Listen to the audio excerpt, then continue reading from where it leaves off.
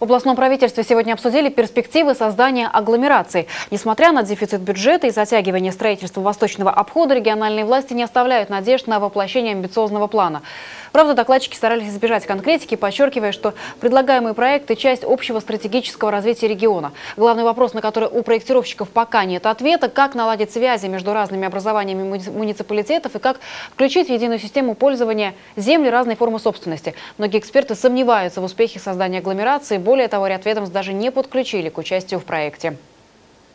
И касательно аэросити, там, где сплошь и рядом федеральные земли, без федеральных структур вы вообще ничего никогда не сделаете. Вы же ко мне постоянно и приходите за решением ряда вопросов. Ну вот. Все проектируют, все планируют, все придумывают что-то. К сожалению, Росимущество-то нигде и не участвует.